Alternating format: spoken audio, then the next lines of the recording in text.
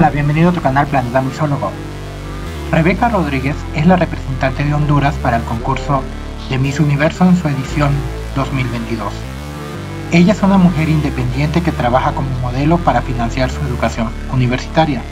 Actualmente está cursando una doble licenciatura en negocios internacionales y marketing digital en el Atlantic University of Miami. Rebeca es embajadora de varias marcas internacionales. Siempre ha sido muy consciente de las necesidades de los demás y por eso se ha unido a varias organizaciones sin fines de lucro. Aunque ha trabajado para diversas causas, una tragedia familiar la obligó a reorientar su defensa hacia una causa muy cercana a su corazón, la salud mental.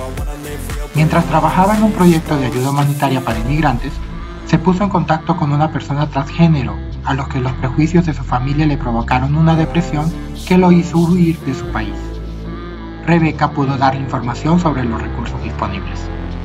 En la actualidad, Miss Honduras está centrada en su preparación integral como Miss Universo Honduras, con la esperanza de dar a su querido país su segunda clasificación en 67 años. ¿Lo logrará? ¿Qué opinas tú al respecto? Te leo en los comentarios.